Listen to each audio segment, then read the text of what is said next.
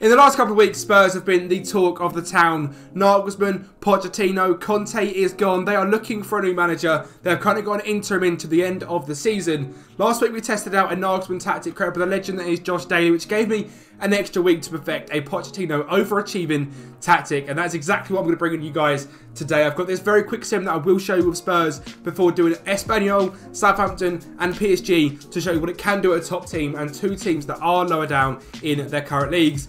Let's get right into it. What's going on there guys, Kempi here and welcome back to the channel. Welcome back to the Poch tactic. This has been much requested over the last couple of weeks where Nagelsmann is obviously now a big favourite for Spurs, but Pochettino is still an option and he could still be going back to Tottenham Hotspur. So we have made a tactic from scratch where we are hopefully going to show you guys the demon tactic that I've created for Pochettino. It's an overachieving tactic. So if you're a mid-table, lower half club, this tactic could be fantastic for you Talk about mid-table clubs. We've got Tottenham Hotspur, the first one I have done. We've won a trophy with them, so we broke the curse first season, winners of the FA Cup, which is fantastic to see, and a top three finish in the Premier League as well in the FA Cup. It was a penalty win against Liverpool, which is good to see. 1-1 uh, XG fairly similar to us. They had three, we had 2.81, uh, 16 shots there, 23. Quite a close game. Liverpool obviously a very, very strong side, and I believe they ran away. No, they didn't. City ran away the league this year, but they were definitely the second best team. City losing one game all season. So a very, very tough season to win this one.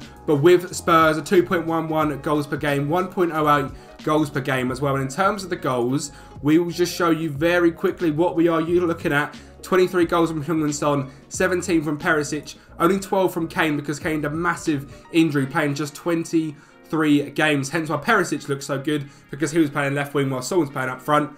So it's bit a little bit of a difficult season here for Spurs, but still a good finish Imagine what this would have done with a prime Harry Kane in that deep lying forward role. Let me show you guys what this tactic does with Espanyol, Southampton and PSG before I come back to Spurs and show you guys how this tactic works in game. Just a very, very quick one. If you guys are brand new to the channel, if you can, make sure to like the video, subscribe to the channel, get them bell notifications on and subscribe on all these things as well, slash follow. So Twitch, Twitter, TikTok, subscribe on YouTube, all of that helps me out massively. It helps you guys out because you get to keep a track on all of the wonderful things in the world of Kempi. In terms of content creation as well, we're on a massive, massive grind at the moment and I'm absolutely loving it. I'm loving the Twitch. I'm loving the YouTube. So come over and support it. It helps me out massively. In terms of the first thing we've done, Espanyol. Espanyol predicted to come 12th in the division, a very good side in terms of training facilities and youth facilities, and a decent starting 11, but not the greatest of squads. And you can see we've come third in the league. A very, very good result. We beat Valencia by three points. We were six points clear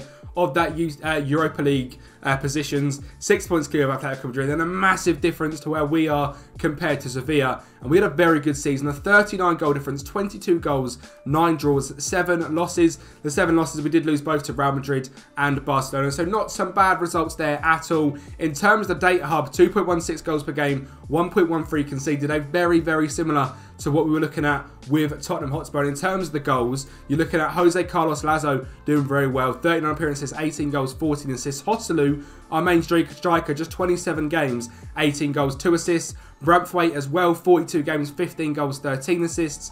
Uh, Cesar Montes at the back got 15 goals, which is absolutely wild. Javi Puado, 9 goals, 6 assists. Uh, Denis Suarez, the key man in this side, 8 goals, 11 assists. Assists coming from pretty much everywhere in this team, even Brian Olivan in that left back role. 13 assists from him and 8 from Alex Vidal from right back as well. So the wing, back, wing backs are going to be key in this formation. So make sure you've got good wing backs, good wingers, and a decent striker that can hold up the play. And Southampton, we've done quite well as well. Obviously, Southampton in real life are sitting, I believe, still bottom of the league as I record this on Sunday.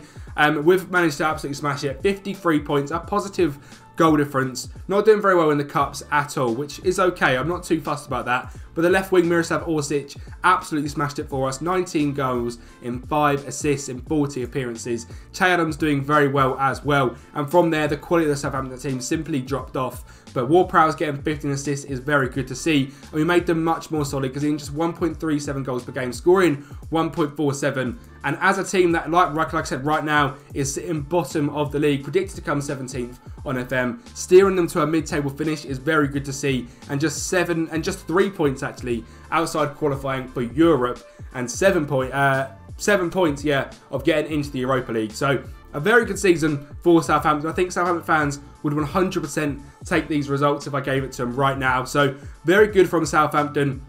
And to show you what this tactic could do with a team that can absolutely dominate a league, you've got PSG winning the French treble as per usual. The Champions League, I can never win with PSG. Round of 16th by Real Madrid, but a very good season, 105 goal difference, just two losses to Nantes and uh, Lyon, two draws as well, but 105 goal difference, 104 points, the Trophy Champs, the Coupe de France.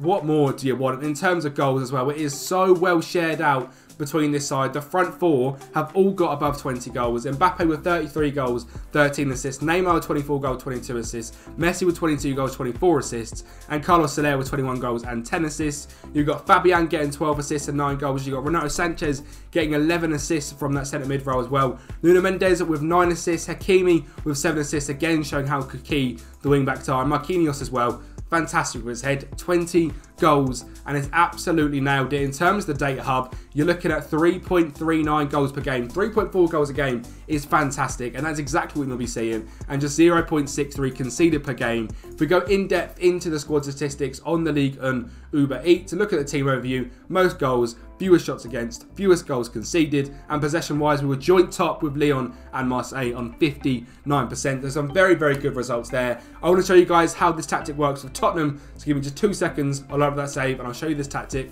with the wonderful Tottenham Hotspur. And here we are then. It's a 4-2-3-1 high press positive mentality. We're going to go through each individual position because there is added instructions on each individual player and some very good ones at that as well. One thing I want to say straight away, if you want this to be more overpowered and less like Mauricio Pochettino, change Harry Kane from a deep lying forward to an advanced forward and he'll score you a lot of goals. But obviously we're making this as a Pochettino tactic, so that's why Mbappe may have only got 33 goals, Kane might have only got 20, Joselu the same.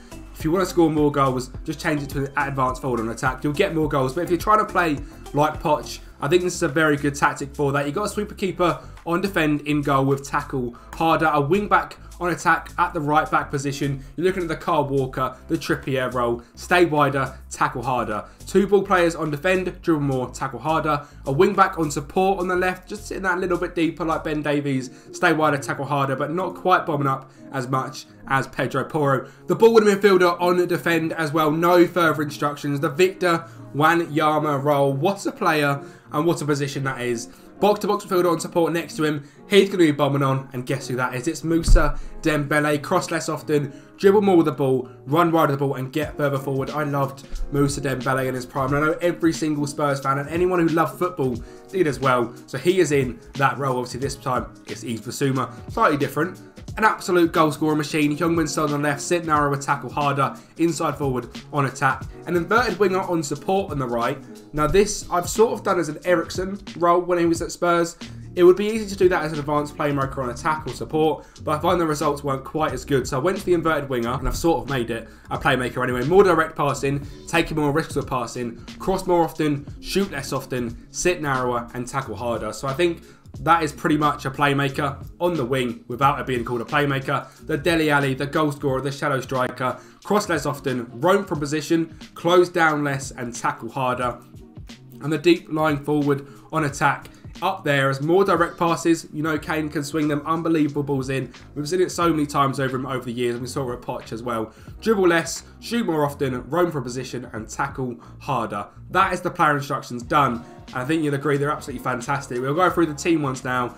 So the team instructions, it's set to a positive mentality, shorter passing, pass into space, play out of defence, low crosses, run at the defence, be more expressive, and a slightly higher tempo. In transition, we're rolling it out, distributing quickly, countering and counter pressing, and out of, out of possession. It's a high press system, a standard defensive line, getting stuck in and prevent the short goal distribution and press as much as you can. That is the way, that is the Pochettino way, and that is how we've built this Spurs side. I think you guys would agree it's quite a good recreation of the Spurs tactic. As I've said, if you do want to make it a little bit more overpowered, just make that advance forward. Maybe make that the same as Son. If you want basically a 4-2-3-1, which is ridiculously overpowered, do them things. But if you're trying to stay like Poch, I think this is a very good tactic to build your team around and build the Poch style of play. Thank you guys for watching as usual. It's been a pleasure making this tactic and making this video for you. There'll be a rebuild out on Wednesday with a team not from this list. So keep your eyes peeled. The only clue I'll give you is from Italy. So it's an exciting one. Come back on Wednesday to see that. Thank you for watching and I'll speak to you next time.